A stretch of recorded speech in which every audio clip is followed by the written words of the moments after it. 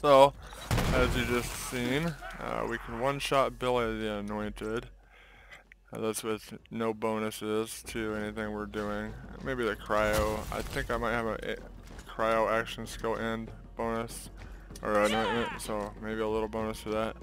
But uh, we can we can get that one shot even with the uh, negative 25% to crits modifier. And so just to explain what I did there, I just uh, entered the Iron Bear and exited it. We have the action skill end on the ion cannon. Now I've pulled this one shot off without even proccing my action skill end, but it's definitely more reliable doing it that way. Uh, it won't happen every time if I if I don't. And I've done it with this one. I've done it with this one. I did not manage to get it to work with this one. And this is the one I just prefer to use because uh, anointed enemies are weak to fire. So we use that. We use the rerouter like I always do for any kind of one-shots. Do got that bonus shock damage for action skill end. Not really necessary probably, but it's there and it helps. We also got the action skill end cryo on the nade. Uh, we could use an on-thrown one, and that gives us good damage boost too. It's just an extra step after we get out of Iron Bear, we throw a a nade off into nowhere.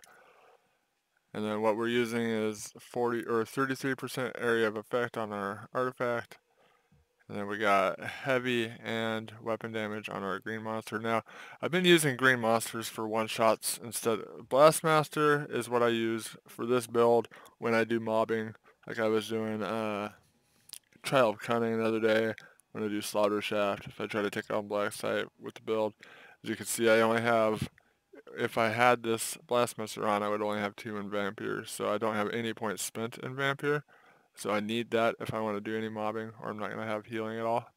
So uh, if I go mobbing, I do that. But when I'm trying to one-shot stuff like Chantel, I was doing the other day, and I provided a clip, or right now Billy the Anointed, we use the Green Monster. And I have a couple different ones, and it pretty much works with all of these. As long as you just got some plus splash damage on it, or heavy damage, or AoE damage.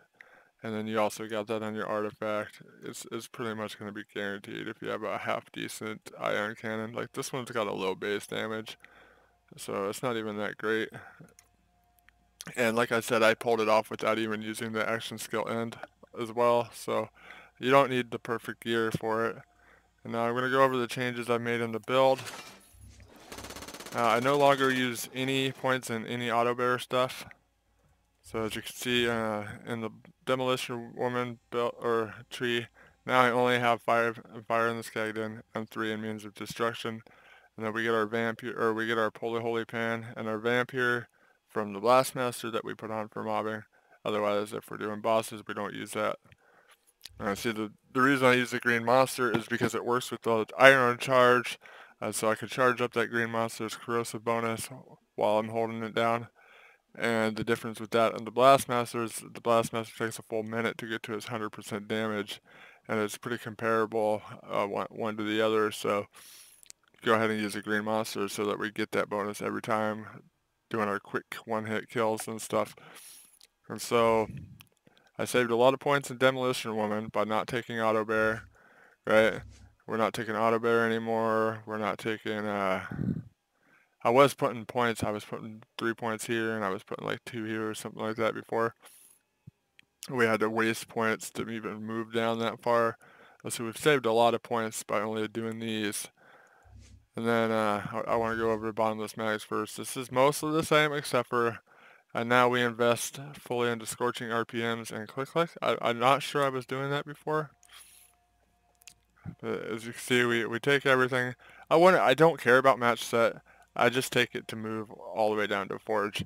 And we, we dropped Specialist Bear, we dropped some for the road as well, and we just went ahead and put those in match set. That way we can get our Ion Cannon mags bigger and get them to regenerate faster. It just lets us shoot more often and stuff like that.